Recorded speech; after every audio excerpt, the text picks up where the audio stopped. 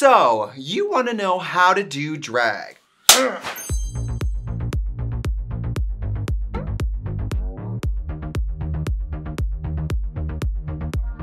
Hi, it's Trixie Mattel, and today it is time that I answer the most asked question on every single piece of social media. Many of you have probably watched a competition drag show, or my channel, or anything, and you've gone on the internet on Google, who by the way is sponsoring part of today's video, and you're wondering, how do I do drag? How do I start doing drag? How do drag queens start doing drag? Well, it's kind of a conundrum because you just have to start, right? There's no right way. Even clowns have an official clown college, right? For drag, it's the school of hard knocks. So I sat down today and I wrote down a list of things that I'm gonna tell you and you about how to do drag, how to start your career correctly in the right mindset for the greatest success. Now, before we begin, I wanna say thank you to Google for sponsoring part of today's video. So if you watch my channel, any one of you know that I love supporting independent small businesses. I mean, my hair, my outfits, my jewelry. I think it's important to support small businesses whenever possible, and it's even better if you can shop more inclusively. That's why I love Google and the many tools they provide to help me support small businesses and help you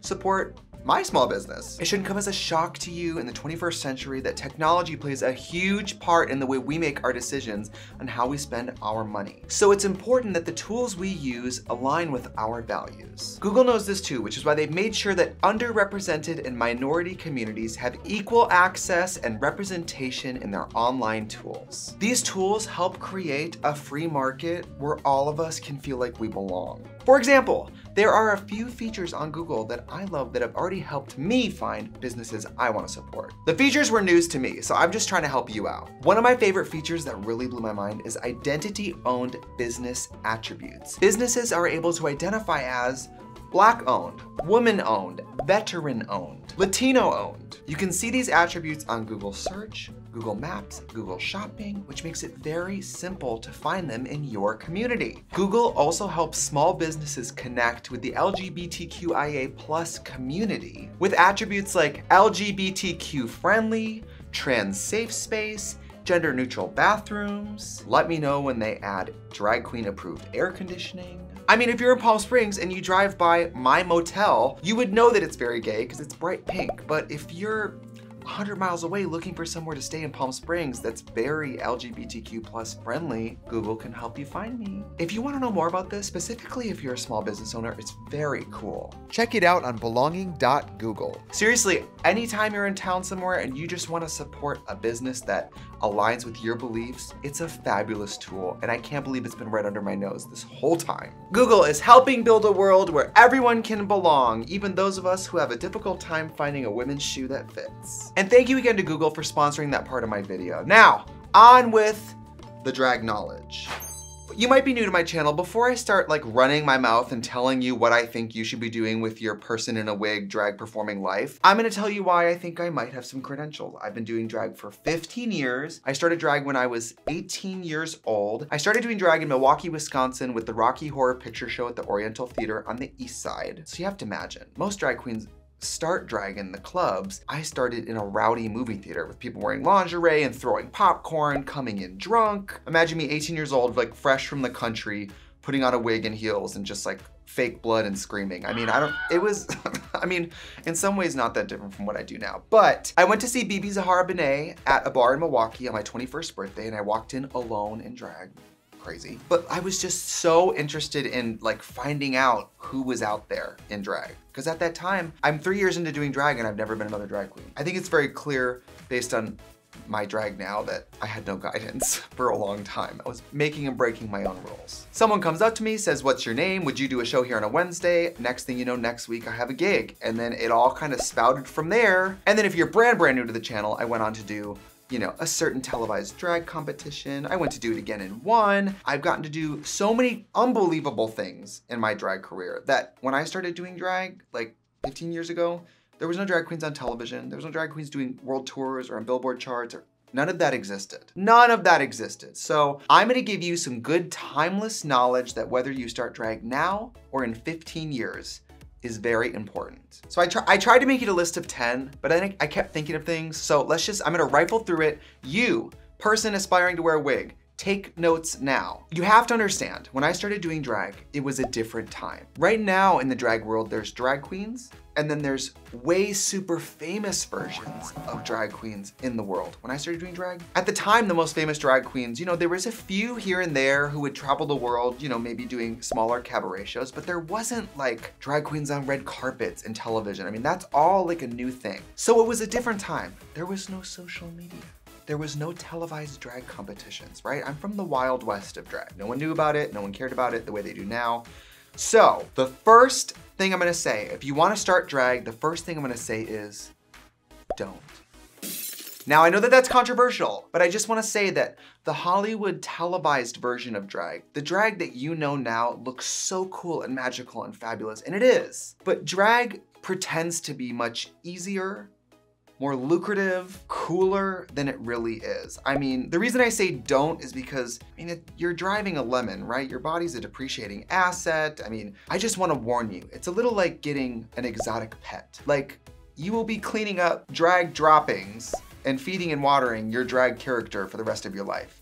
It's like a virtual pet that won't stop beeping. The other reason I say don't is because drag has gotten so big that now the market is so saturated. There are so many drag queens. When I started, there was maybe 10 in my city, maybe. Now every city, there are dozens and dozens and dozens. There are thousands of drag queens in the United States, thousands. And there's not really more gigs and they don't really pay better for most drag queens. So the other reason I say don't is because drag is more popular than ever, but it's also harder than ever. It's more competitive than ever. I mean, these baby drag queens come out swinging because you have to be so beautiful and talented to really like get paid now. But if I can't convince you, let's move on to number two. Next, I wanna say, do your own thing especially visually. This is perhaps the most important thing you will learn from this video.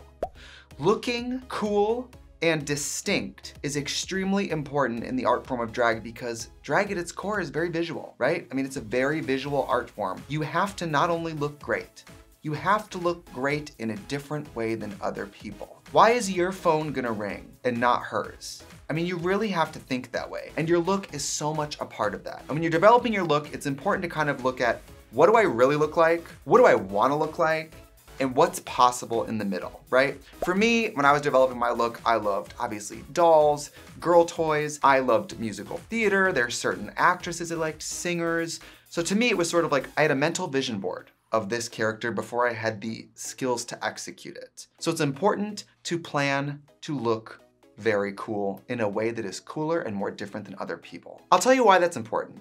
For example, after a drag show, I might not remember every drag queen's name in the show. So when I'm at the bar with my friends talking about the show we saw, I'm like, I love the girl in the red. I love the girl with the, the big black liner. Or like, I loved the girl with the long hair that she flipped around. Like, we kind of identify drag queens on their look before we know their name, unless their name is really good, which is kind of the flip flop of have a great look, you gotta have a great name. And I mean, if you're not sure what to do, just go simple. Champagne. Oh, right? cookie.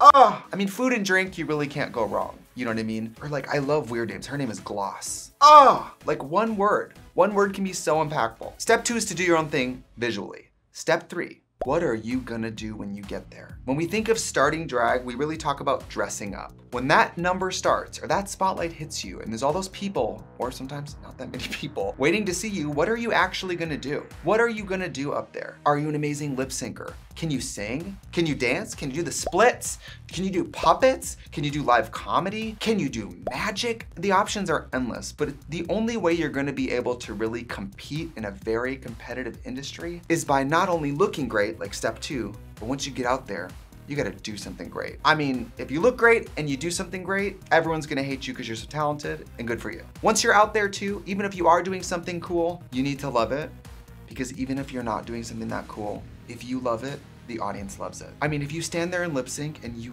love it, that's gonna be so much better than juggling chainsaws if you're not passionate about it.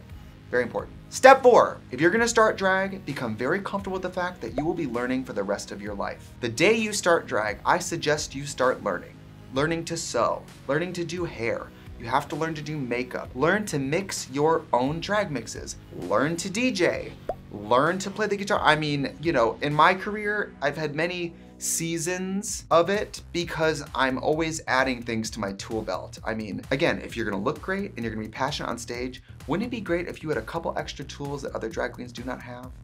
hello. But if I could go back in time, I mean, I would start DJing, I would learn to edit photos, I would learn photography. There's so many skills that I did not acquire until later in my career, and I wish I at 21 I would have just started learning this stuff. Number five, do it for the right reasons. Here are some of the right reasons to be doing drag. To have fun, to engage in your community, to laugh, to act stupid, to meet up with your friends, to express yourself, to balance out a very boring part of your life with a very exciting part of your life. And there's nothing wrong with admitting you do it for a little bit of attention. These are the right reasons to be doing drag. These are the reasons that will really make the night enjoyable. How much money you make, all that is really not what you remember. I don't, I don't remember an amount of money I've ever made at a show, but I remember who I worked with, something funny that happened. I mean, all of that is so much more important. The wrong reasons to do drag would be because it's extremely easy to make money. It's so lucrative, it's easy. It doesn't disrupt your dating life. Drag, it takes up all your time. It's a huge waste of money. It hurts your body. It ruins your sleep schedule. Those are the reasons that you really have to be realistic about if you're gonna embark in this because there's big parts of this that are so hard that never get easier. Of course, it never becomes comfortable. Drag never becomes cheap. Like, it's just hard forever, which is part of what makes it so rewarding and impressive. This is a little 2022 and beyond. Live online. You don't have to love the internet. You don't have to have social media. You don't have to do any of that. You know, maybe you have a mom who just goes on social media and posts memes, and so you're like, I can't. But the character you're creating, the work you do, take pictures, take a million pictures. When you're performing, get someone in the audience to tape your performance so you can make content out of it. Follow other performers on social media to stay inspired. Social media is such a tool. When I was 20, Two, I started messaging girls in other surrounding markets and saying, hey, here's a video of me performing, can I come do your show? And then I became lifelong friends with some of these people who I still work with today. So really like engage with your content online. Just do drag and put pictures of it on the internet. Drag is so cool to look at. Don't deprive the people. This is really important. My advice to you, in the beginning of your career, develop hmm, three to five really iconic cool numbers that you do very well that other people don't do. Maybe it's a number where you use a puppet, or maybe you happen to really lip sync it well, or maybe maybe you really look like that celebrity. There should be like three to five numbers that if you're at a brand new bar or somebody importance in the audience, you're like, what are my real money makers that the, maybe it's a really creative lip sync from a TV show or a film. What are my numbers that are like my bread and butter that I could perform completely asleep, the audience would love it, and it's different than anyone around me is doing. You don't really need to do a million songs. This drag queen I grew up doing drag with, she told me once, I was like, oh my God, I feel like I don't have enough numbers. And she said, the audience doesn't care if they see it twice as long as they liked it the first time. Which is really true, right? Either you're blown away the first time or the music starts and you turn to your friends and you go, oh, this number is amazing, you have to watch. So a good like half dozen numbers that you do really well is so much more important than knowing 50 songs. Next tip, meet everyone. If you work in a show, make sure you say hi to everyone in the room. Show up to the show early, get a drink at the bar, walk around in your little outfit, say hi to people who are gonna be in the audience. After the show, go to the bar, get your little lemonade, your little whatever, thank people for coming, take pictures with people. And if you don't work at any drag shows, get in drag and go to a drag show meet the drag queens, and I'm telling you, if you're nice enough and sweet enough, you will have a career fall into your laps because you go out and meet people. And I'll tell you this, meeting people is like all of it. Meeting the show director, meeting the club owner, meeting the DJ. I mean, just knowing a few people is your foot in the door. That's it. It's honestly more important than being good at drag. If we're being honest, like knowing a few people who will book you is way more important than being some incredible artist that no one knows and no one has talked to. I mean, disclaimer, like I'm talking to the club attending age drag queen. If you're younger, you can do an 18 plus night. At my bar in Milwaukee, we have an 18 plus night. There's a lot more options for young drag queens than there used to be. This is very important. Next tip, know what to spend money on. If I could go back in time, I would become like a devil angel conscious on my shoulder watching my young self shop for drag. I'd be like, you could get that cheaper at the drugstore.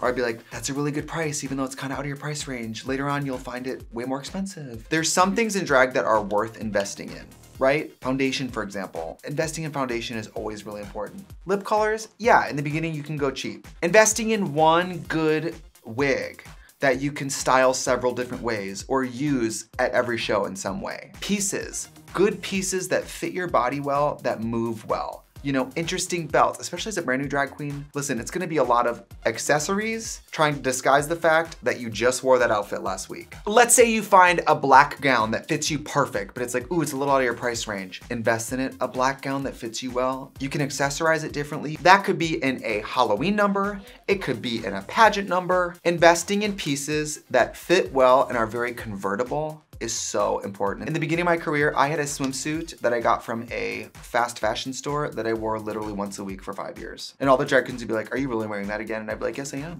I liked it. And a side note to that is, the more you learn, the more you can save. When you learn to make hair, you don't have to give that girl $500 for hair anymore. When you learn to sew, you don't have to go buy an outfit anymore. You actually save money by learning these skills. The next one's kind of abstract, but I feel that as a young drag queen, we go to drag shows and we watch other people perform and we go, I wish that was me. How come I'm not on a cast? I wanna be on this show. Never underestimate the power of walking into a bar that does not have a drag show and saying, hey, I noticed it's Tuesday night and you guys don't have a drag show. Would you be open to me having one here? I'll take care of everything. I'll book the people, whatever. A lot of these bars and stuff, or pizza places, anywhere, they'll have a drag show. No one's asked yet. I feel like as young drag queens, we're basically waiting for older drag queens to die for us to get opportunities. Go make your own. If I could go back in time, I would tell myself, you should be going into bars or spaces that don't have drag and asking if you can do a show. I don't know why I didn't do that. I guess I was scared. And then suddenly, instead of having to wait for a girl to get sick for you to get a gig, suddenly you have your own gig that's fierce. I mean, at my bar in Milwaukee that I now own, originally I used to walk in and say like, hey, I'm in drag, do you wanna do something here? I mean, when I was in Milwaukee, most of my gigs were gigs where they were like, I was the drag queen. They didn't have drag shows. They would book me to come like talk to people and get drunk, which was kind of, you know, a highlight of my career. This is abstract, but always be prepared. Come prepared. There's always the drag queen and we call her Shanita. She need a lip pencil. She need a, a, gown. She need a ride home. There's always a drag queen and you should comment her below. There's always one drag queen in every town who you're like, how did you come here with nothing? You don't have a CD to perform? Like you don't have a flash drive? You don't have a lip pencil? You don't have shoes? It's always some drag queen who's booked all the time who is really fun and sweet, great personality, but never has like, she's like, what jewelry did you bring? I'm like, the jewelry I'm gonna wear. No, you can't wear my jewelry I'm about to wear right after you. Are you insane? Always bring your own stuff. Bring backups. This is the reason you always bring a backup outfit. One, what if your zipper pops? Two, what if another girl's wearing the exact same outfit? And three, this is very important. If there's a no call, no show at a drag show, which does happen, believe it or not, cross dressers are not reliable. Suddenly you have a third number and you go, oh, do we have an, I'll do a third number for 40 more bucks. And they'll go, sure, great. Then you get her pay. Suddenly you have two pay that night because you packed an extra outfit. Little things like that, people remember it. They're like, that new girl was punctual, nice, and she had another outfit ready. Oh my gosh, I'm gonna book her again. I mean, it really is that small. The whole industry is based on who you know, what you do on stage, and how do you make people feel when you're in the room. Both backstage and on stage. How do you make people feel? We're almost there. One of the other ones I thought of is very important. Accept that you are going to be bad at drag for a very long time accept it.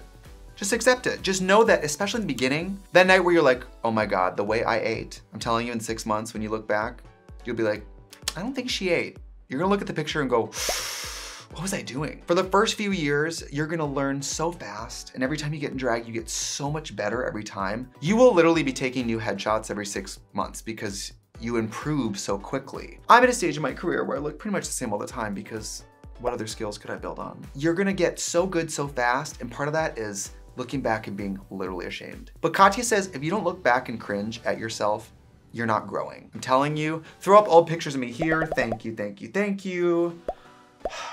Looking bad is just part of drag. It's just part of drag. And even at your best in drag, in the wrong lighting, too many drinks. You know, everybody looks bad once in a while. Everybody has taken a tumble on stage. Drag at its core is accepting that once in a while, you're gonna look bad. In the beginning, it's a lot more frequent. Finally, and this is like really important, it's as important to be great backstage as it is to be great on stage. I'm telling you, I won't name names because I don't do that. This is an industry wrought with very talented people who will not get booked because when they leave the dressing room, people are like, she has an attitude. She was so late. She said something really mean to me. It's an industry of people who are so gifted, but they won't get the phone call because they they didn't have a good showing in the dressing room. or they said something inappropriate, or they mouthed off to the owner. I mean, being respectful, being grateful, and being nice. All the most successful drag queens are nice. Doesn't matter what they say on stage or like what they say on their little YouTube cameras. Being nice is so important. It is so important. The first time you get that booking that you're like, I can't believe I got that booking, make sure you say thank you to the person who booked it. Say thank you to the DJ, say thank you to the security, say thank you to the other drag queens, get other drag queens' phone numbers, hang out outside of drag. You could actually be horrible at drag, but if everyone loves having you around and you have good energy in a show, you will work forever.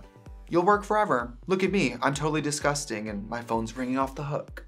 All right, so that's pretty much my beginner tips. I mean, it's not exactly technical. If you wanna learn about doing makeup or sewing, I mean, we have videos like this on this channel, but I wanted to do something that was a little more preparing you for the dramatic life-altering event of starting drag. Be in the right mindset, be grateful, be open, and be ready to start from the bottom. And you can't start from the bottom and enjoy yourself unless you have an extremely good attitude about the art form you are about to add your voice to. If this video made you not want to do drag, I'm glad I could help. If this video made you certain that you wanted to start drag, congratulations. If you ever come for me, if you ever take one of my bookings, I'll, um, and you know, it's a very cutthroat industry, but if you enjoy yourself and surround yourself with good people, telling you, 15 years in this industry flew by because I love it.